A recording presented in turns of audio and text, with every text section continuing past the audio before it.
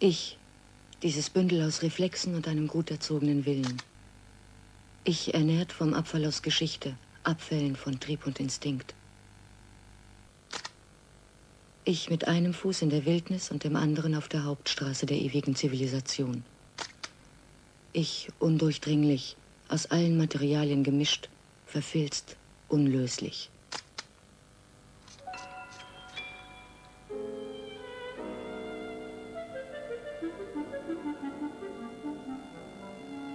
Die Angaben zur Person sind immer das, was mit der Person am wenigsten zu tun hat. Statt Biografie, Beschreibung eines garstigen Prozesses. Ich habe meine Jugend in Kärnten verbracht, im Süden an der Grenze. Ich glaube, dass das Bewusstsein der Grenze mir das Fernweh eingetragen hat. Die Jugendjahre sind, ohne dass ein Schriftsteller es anfangs weiß, sein wirkliches Kapital. Nur dass man erst in späteren Jahren überhaupt zu begreifen anfängt, was man mit dem ersten Blick gesehen hat, den man vielleicht niemals oder nur manchmal wieder geschenkt bekommt. Der erste Blick und der erste Schmerz. Es hat einen bestimmten Moment gegeben, der hat meine Kindheit zertrümmert. Der Einmarsch von Hitlers Truppen in Klagenfurt. Es war etwas so Entsetzliches, dass mit diesem Tag meine Erinnerung anfängt durch einen zu frühen Schmerz, wie ich ihn in dieser Stärke vielleicht später überhaupt nie mehr hatte. Alle Tage. Der Krieg wird nicht mehr erklärt, sondern fortgesetzt. Das Unerhörte ist alltäglich geworden. Der Held bleibt den Kämpfen fern. Der Schwache ist in die Feuerzonen gerückt. Die Uniform des Tages ist die Geduld, die Auszeichnung, der armselige Stern der Hoffnung über dem Herzen. Er wird verliehen, wenn nichts mehr geschieht, wenn das Trommelfeuer verstummt, wenn der Feind unsichtbar geworden ist und der Schatten ewiger Rüstung den Himmel bedeckt. Er wird verliehen für die Flucht von den Fahnen, für die Tapferkeit vor dem Freund, für den Verrat unwürdiger Geheimnisse und die Nichtachtung jeglichen Befehls. Als der Krieg zu Ende war, ging ich fort und kam voller Ungeduld und Erwartung nach Wien, das unerreichbar in meiner Vorstellung gewesen war. Es wurde wieder eine Heimat an der Grenze zwischen Ost und West. Später ist vieles so gekommen, wie man es kaum zu wünschen wagt. Universitätsstudium, Reisen, Mitarbeit an Zeitschriften und die ständige Arbeit im Rundfunk. Im Wiener Café Raimund trifft die junge Dichterin aus der österreichischen Provinz auf Gleichgesinnte. Einige hatten Worte zur Verfügung, die sie wie Leuchtkäfer in die anbrechende Nacht schickten und über die Grenzen. Auch ihre Worte, ihre Gedichte gelangen über die Grenzen. Die Gruppe 47 lädt die 26-Jährige zu einer Lesung ein. Ihr lakonischer Bericht. Nie waren Leute wunderlicher als diese Gruppe 47, die sich am nächsten Tag reihenweise, aber nicht sehr ordentlich in einen Saal setzte. Der deutsche Schriftsteller setzte sich auf einen Stuhl vorne und einer begann zu lesen. Da trat endlich Ruhe ein. Am dritten Tag las ich ein paar Gedichte vor, vor Aufregung am Ersticken. Ein freundlicher Schriftsteller las sie nochmals laut und deutlich vor.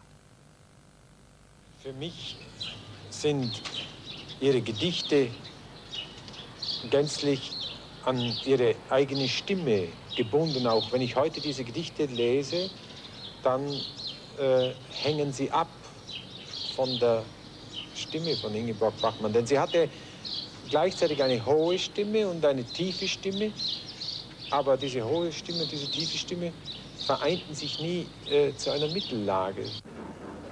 Die gestundete Zeit.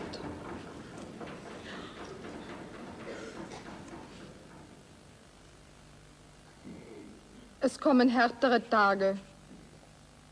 Die auf Widerruf gestundete Zeit wird sichtbar am Horizont. Bald musst du den Schuh schnüren und die Hunde zurückjagen in die Marschhöfe, denn die Eingeweide der Fische sind kalt geworden im Wind. Ärmlich brennt das Licht der Lupinen, dein Blick spurt im Nebel, die auf Widerruf gestundete Zeit wird sichtbar am Horizont. Ingeborg Bachmann lebt schon in Italien, als ihr erster Gedichtband Die gestundete Zeit erscheint. Angesichts des unaussprechlichen Kollektivverbrechens im Faschismus gilt es, eine neue Sprache zu finden. Ihre Lyrik trifft den Nerv der Nachkriegsgeneration, die enttäuscht ist von ihren Vätern. Keinem deutschen Autor wird in den 50er Jahren so viel Aufmerksamkeit zuteil wie Ingeborg Bachmann. Die Kritiker feiern den neuen Stern am Poetenhimmel. Ihre Themen, das sind Tod, Mord, Angst, Liebe. Die Beziehungslosigkeit und das nur scheinbare Verständnis füreinander. Ingeborg Bachmann war eine Zweiflerin an der Wahrheit, an der Sprache, am Menschen. Diese Person mit ihren vielen Allüren, ihrem, ihrer ungeheuren, grandiosen Kokettheit, ihrem Versuch, die Weiblichkeit als einen Machtanspruch voll auf die Welt auszuspielen, diese Person hatte Humor. Das ist bei, bei ihrem auch wieder absoluten Ernst etwas Erstaunliches. Sie konnte glühend erzählen, sie hat einen Callas-Auftritt in Mailand erlebt, von dieser Frau, von ihrer Bühnenpräsenz, aber ich habe dann später gemerkt, es ging nicht um Gesang, es ging nicht um Kunst, es ging um dieses Leben als Schauspieler. Es war eine Frau, die mit ihrer Kunst das ganze Leben beglänzen konnte, die ihr Innerstes nach außen warf, die ihr ganzes Leben zu einer Kunstfigur machte. Ein Divendasein. Und ich glaube, im Innersten schwebte der Ingeborg vor, auch eine solche Diva der Dichtkunst zu sein, eine Duse, eine Callas, der Dichtkunst.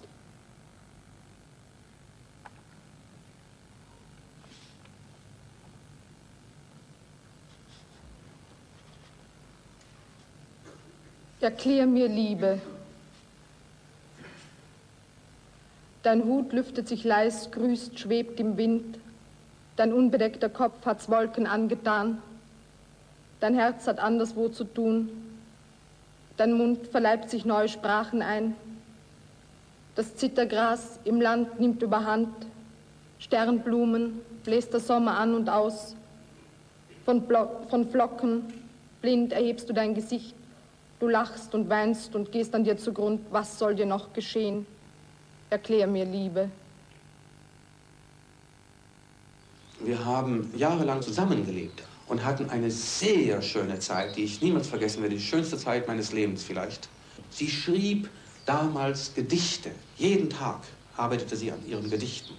Ich komponierte. Und wir lebten ein wunderbares, schönes, reines Leben. Dann ist die Zeit weitergegangen und sie hat eines Tages in Paris einen anderen Mann kennengelernt und hat mich verlassen. Äh, für etwas sehr viel Konkreteres und Anstrengenderes als mich, Max Frisch. Was uns zusammengeführt hat, war meine Bewunderung für ihr Werk, also das Werk ihres Anfangs, nämlich die gestundete Zeit, die Anrufung des großen Bären.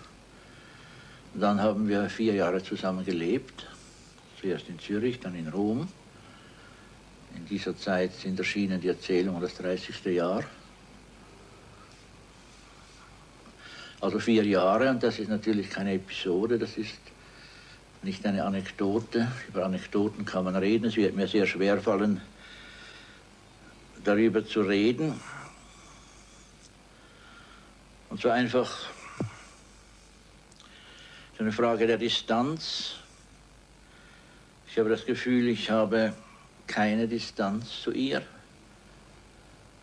oder eine unendlich große.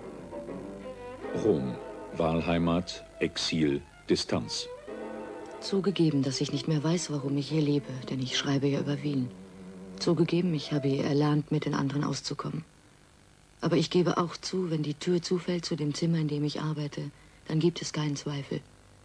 Denken ist solitär. Alleinsein ist eine gute Sache. Was ich in Rom sah und hörte, ich sah auf dem Campo Fiori, dass Giordano Bruno noch immer verbrannt wird. Jeden Sonnabend, wenn der Gestank von Fisch, Klo und verfaultem Obst auf dem Platz verebbt, tragen die Männer den Abfall vor seinen Augen zusammen und zünden den Haufen an. Wieder steigt Rauch auf, die Flammen drehen sich in der Luft. Auf dem Bahnhof Termini sah ich, dass in Rom die Abschiede leichter genommen werden als anderswo. Denn die fortfahren lassen denen, die bleiben, einen Gepäckschein auf Sehnsucht zurück. Exil. Ein Toter bin ich, der wandelt, gemeldet, nirgends mehr, unbekannt im Reich des Präfekten, überzählig in den goldenen Städten und im grünenden Land, abgetan lange schon und mit nichts bedacht, nur mit Wind, mit Zeit und mit Klang, der ich unter Menschen nicht leben kann. Ingeborg Bachmann schreibt einen Roman. Erzählungen, Hörspiele, Libretti für Opern, Essays. Aber seit Mitte der 60er Jahre keine Gedichte mehr.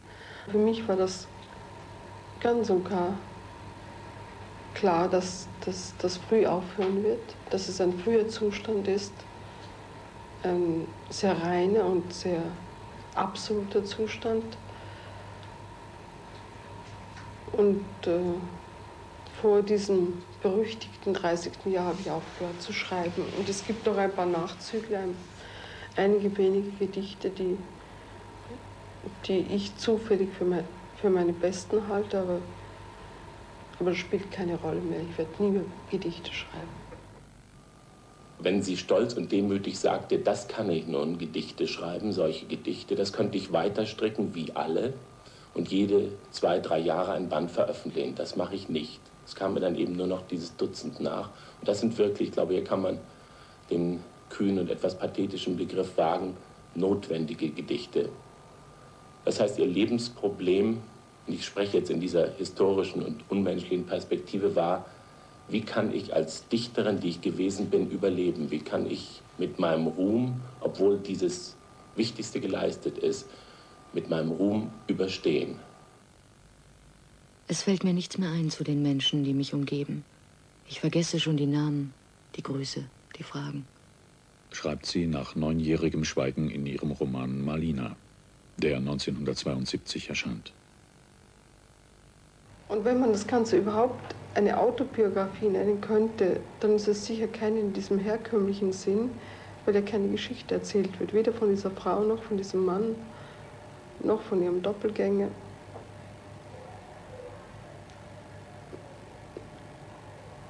Wenn man so will, ist es ein geistiger Prozess. Malina ist der erste Teil des Zyklus Todesarten, der unvollendet bleibt. Ein Roman über den Konflikt zwischen Verstand und Gefühl, Produktivität und Selbstzerstörung, über das Kranksein an dieser Zeit. Was meint man eigentlich damit, die ganze Gesellschaft beschreiben? Die Bewusstseinslage in einer Zeit. Das heißt doch nicht, dass man die Sätze nachspricht, die diese Gesellschaft spricht, sondern muss sich anders zeigen. Und sie muss sich radikal anders zeigen. Denn sonst wird man nie wissen, was unsere Zeit war. Und die Krankheit, die Folter darin, die Krankheit der Welt und die Krankheit dieser Person ist die Krankheit unserer Zeit für mich. Und wenn man das nicht so sehen kann, dann ist mein Buch verfehlt. Aber wenn es doch darin zu sehen ist, dann vielleicht nicht. Das Feuer, ihre Todesart, zu oft beschworen, um nicht wahr zu werden. Und wenn ich befeuert bin in der Nacht und ich schlage die Funken aus mir. Ingeborg Bachmann stirbt am 17. Oktober 1973 an den Folgen von Verbrennungen. Das Gesetz von der Erhaltung der Energie ist nicht anwendbar auf mich. Ich bin die vollkommene Vergeudung, ekstatisch und unfähig, einen vernünftigen Gebrauch von der Welt zu machen.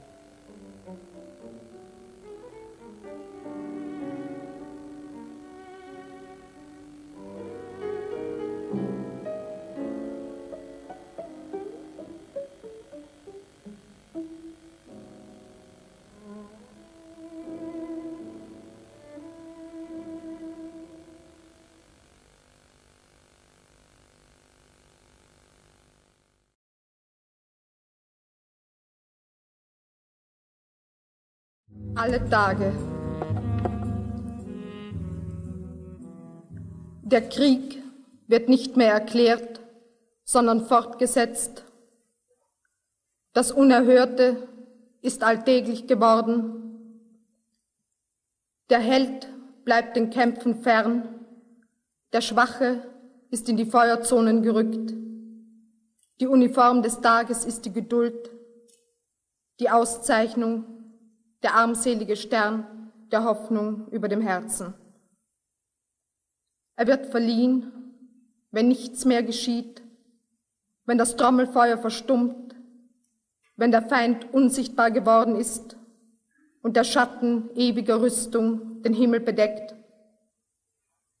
Er wird verliehen für die Flucht von den Fahnen, für die Tapferkeit vor dem Freund, für den Verrat unwürdiger Geheimnisse und die Nichtachtung jeglichen Befehls.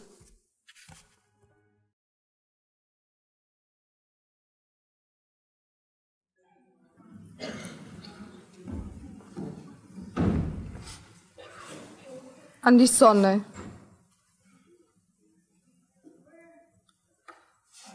Schöner als der beachtliche Mond und sein geadeltes Licht, schöner als die Sterne, die berühmten Orden der Nacht, viel schöner als der feurige Auftritt eines Kometen und zu weit schönerem berufen als jedes andere Gestirn, weil dein und mein Leben jeden Tag an ihr hängt, ist die Sonne. Schöne Sonne, die aufgeht, ihr Werk nicht vergessen hat und beendet, am schönsten im Sommer, wenn ein Tag an den Küsten verdampft und ohne Kraft gespiegelt die Segel über dein Aug ziehen, bis du müde wirst und das Letzte verkürzt. Ohne die Sonne nimmt auch die Kunst wieder den Schleier, du erscheinst mir nicht mehr und die See und der Sand, von Schatten gepeitscht, fliehen unter mein Lied. Schönes Licht, das uns warm hält, bewahrt und wunderbar sorgt, dass ich wieder sehe und dass ich dich wieder sehe. Nichts Schöneres unter der Sonne, als unter der Sonne zu sein. Nichts Schöneres, als den Stab im Wasser zu sehen und den Vogel oben, der seinen Flug überlegt, und unten die Fische im Schwarm, gefärbt, geformt, in die Welt gekommen mit einer Sendung von Licht und den Umkreis zu sehen, das Geviert eines Felds, das Tausendeck meines Lands und das Kleid, das du angetan hast, und dein Kleid glockig und blau. Schönes Blau, in dem die Pfauen spazieren und sich verneigen, Blau der Fernen, der Zonen des Glücks mit den Wettern für mein Gefühl, blauer Zufall am Horizont und meine begeisterten Augen weiten sich wieder und blinken und brennen sich wund. Schöne Sonne, der vom Staub noch die größte Bewunderung gebührt. Drum werde ich nicht wegen dem Mond und den Sternen und nicht, weil die Nacht mit Kometen prahlt und in mir ihren Narren sucht, sondern deinetwegen und bald endlos und wie um nichts sonst Klage führen über den unabwendbaren Verlust meiner Augen.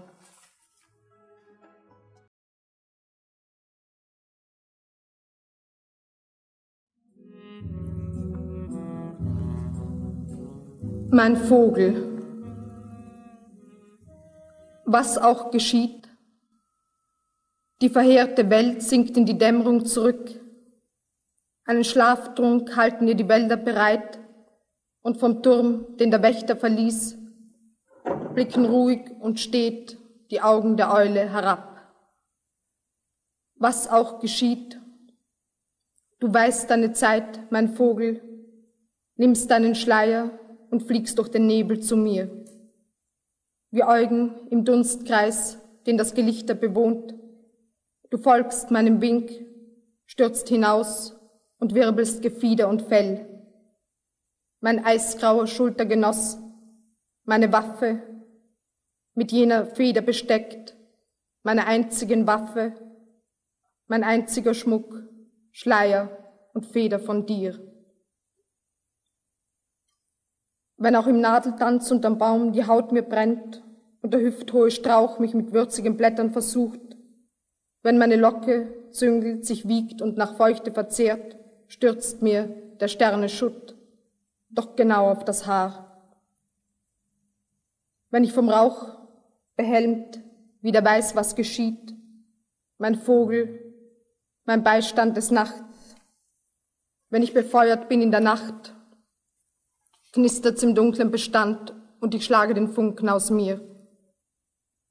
Wenn ich befeuert bleib, wie ich bin und vom Feuer geliebt, bis das Herz aus den Stämmen tritt, auf die Wunden träufelt und warm die Erde verspinnt.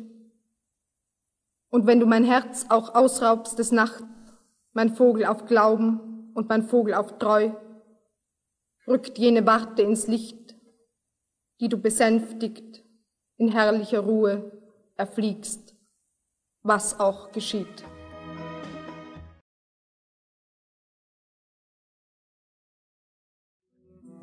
Exil.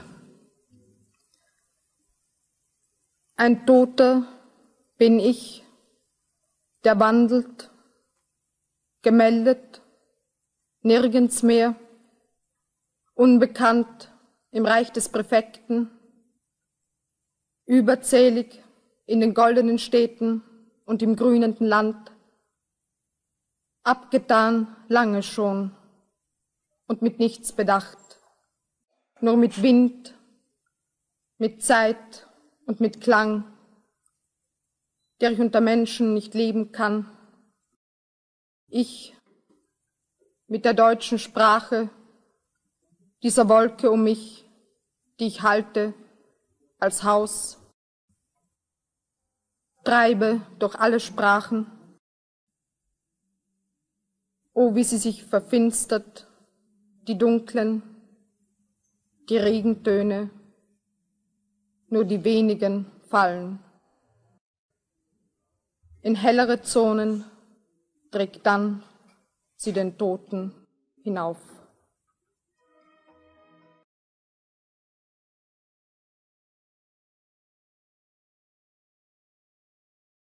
Ein Literaturkritiker hat sich vor kurzem die Mühe gemacht, die Häufigkeit der in ihren Gedichten verwendeten Worte auszuzählen.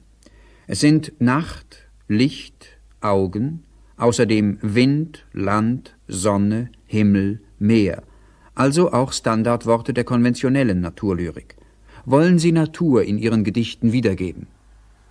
Nein, gewiss will ich das nicht. Die Natur oder was man im Zusammenhang mit Lyrik unter Natur versteht, interessiert mich überhaupt nicht. Ich glaube nicht, dass ich zu den Gräserbewisperern gehöre. Ich glaube, das ist ein Wort von Ben. Ich kann kaum drei Blumensorten auseinanderhalten. In ihren Gedichten ist eine immer wieder auftauchende Ähnlichkeit einzelner lyrischer Bilder mit Else Lasker Schüler und Georg Trakl festzustellen. Fühlen Sie sich diesen Vorbildern besonders verpflichtet? Es sind nicht meine Vorbilder. Aber die Vorbilder, die einem von Kritikern vorgehalten werden, das sind nicht nur Else Laskers Schüler, nicht nur Drakel, sondern noch 40 andere. Ähm, mit Drakel ist es vielleicht etwas anderes. Ich meine weniger, dass er ein Vorbild für mich ist, aber dass er aus dem Sprachklima kommt, das sicher auch das meine ist, das Österreichische in einem sehr weiten Sinn. Ihr literarischer Ruf gründet sich vor allem auf die beiden Lyrikbände Die gestundete Zeit und Die Anrufung des großen Bären, die 1953 und 1956 erschienen sind. Seither haben sie zwei Hörspiele und einen Band Erzählungen veröffentlicht. Es scheint, dass trotz des Lobs der Kritiker für diese Erzählungen ihre eigentliche Begabung nicht in der Prosa, sondern in der Lyrik liegt. Nun, worin die eigentliche Begabung eines Autors liegt, darüber kann man so früh wohl nicht sprechen. Ich habe jedenfalls schon seit Jahren keine Gedichte mehr geschrieben, schreibe keine. werde auch keine schreiben. Auf die Gefahr hin, die Kritiker und die Leser zu enttäuschen. Alle Arbeiten, die ich jetzt begonnen habe, sind Prosaarbeiten. Und ich denke, dass das nächste Buch ein Roman sein wird. Die Erzählung Undine geht wird Ihnen oft als Selbstbekenntnis ausgelegt. Ist das richtig? Sie ist ähm, meinetwegen ein Selbstbekenntnis. Nur glaube ich, dass es darüber schon genug Missverständnisse gibt, denn die Leser und auch die Hörer identifizieren ja sofort mit einem Ich. Äh, die Erzählung ist ja in der Ich-Form geschrieben. Äh, dieses Ich mit dem Autor. Das ist keineswegs so. Die Undine ist keine Frau, äh, auch kein Lebewesen, sondern, um es mit Büchner zu sagen, die Kunst. Ach, die Kunst. Und der Autor, in dem Fall ich, ist auf der anderen Seite zu suchen als unter denen, die Hans genannt werden. Die, die Hans heißen, sind alle jene, die befangen sind in der Welt und ihren Redensarten, Zwecken und Nützlichkeiten. Die Auseinandersetzung mit dieser Welt und die ständige Flucht vor ihr prägen das Werk Ingeborg Bachmanns. In ihren Erzählungen, die nach Sprachrhythmus und Satzbau der Lyrik nahestehen, beschwört sie wie in ihren Gedichten immer wieder die Fragwürdigkeit der Zeit, die nicht verfügbar, sondern zugemessen und nur gestundet ist. Die große Fracht des Sommers ist verladen, das Sonnenschiff im Hafen liegt bereit, wenn hinter dir die Möwe stürzt und schreit. Die große Fracht des Sommers ist verladen. Das Sonnenschiff im Hafen liegt bereit, und auf die Lippen der Galionsfiguren tritt unverhüllt das Lächeln der Lemuren. Das Sonnenschiff im Hafen liegt bereit. Wenn hinter dir die Möwe stürzt und schreit, kommt aus dem Westen der Befehl zu sinken. Doch offenen Augs wirst du im Licht ertrinken, wenn hinter dir die Möwe stürzt und schreit.